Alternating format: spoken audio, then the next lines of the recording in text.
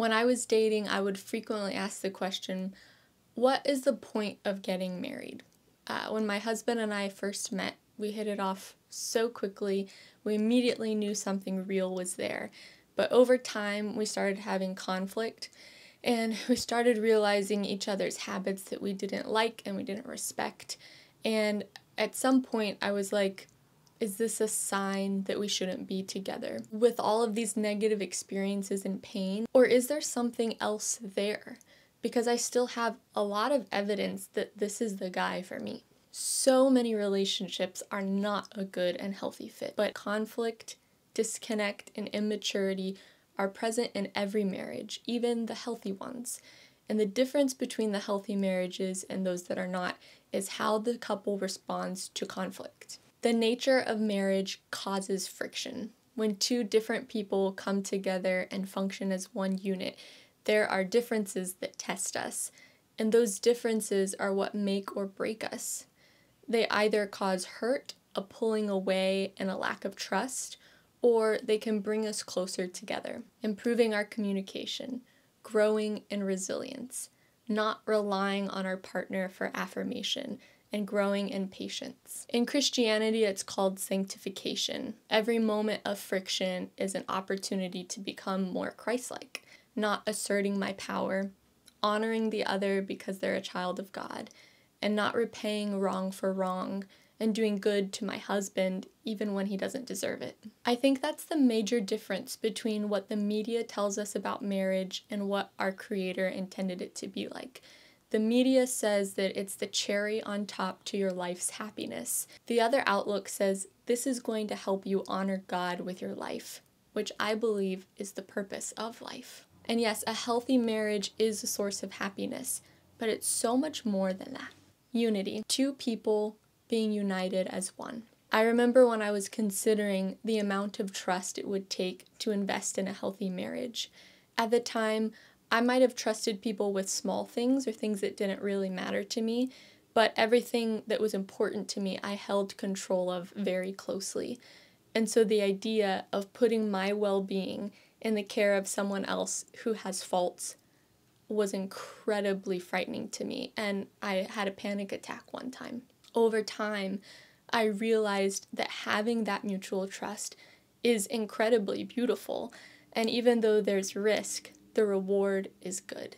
Before we were married, my husband and I were debating something very intensely. Uh, we both felt very strongly about our side, and we came to an impasse. Um, and that was a really heavy burden because it wasn't a subject we could just brush over and let sit. Uh, so after making our cases for an hour, my husband chose to give up his stance and accept mine.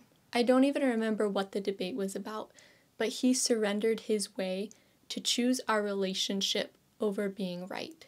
I was flabbergasted and grateful because his surrender allowed us to continue in relationship. And it wasn't even because he was on board with what I was saying.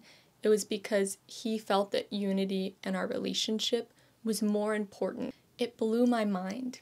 He lovingly submitted to me so that both of us could win the argument through his sacrifice. And being the recipient of that, of something good and pure and supernatural, made me realize that I could love him in that way also. So, this is an example of Christ like submission. And submission is such a trigger word because it's been used so often to control others. But aside from the way that people have perverted and misused that, my understanding of submission is it is something offered, not demanded. It is something given and not taken.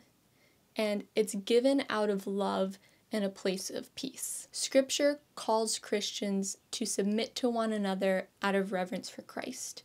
So submitting is a way that I can honor God in my interactions with everyone.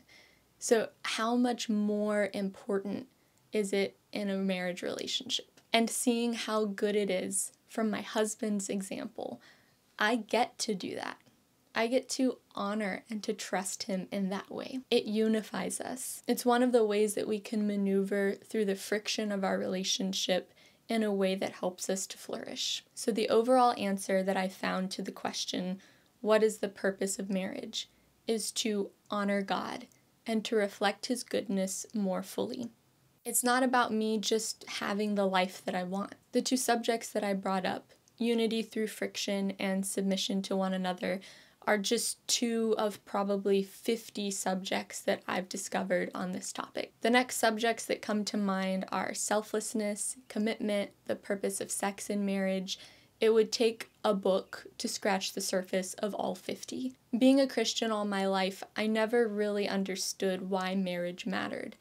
I think most people would struggle to answer that question. But I want to tell everyone that there is more. And I'm going to share as much as I can about what I've learned because it's just too good not to.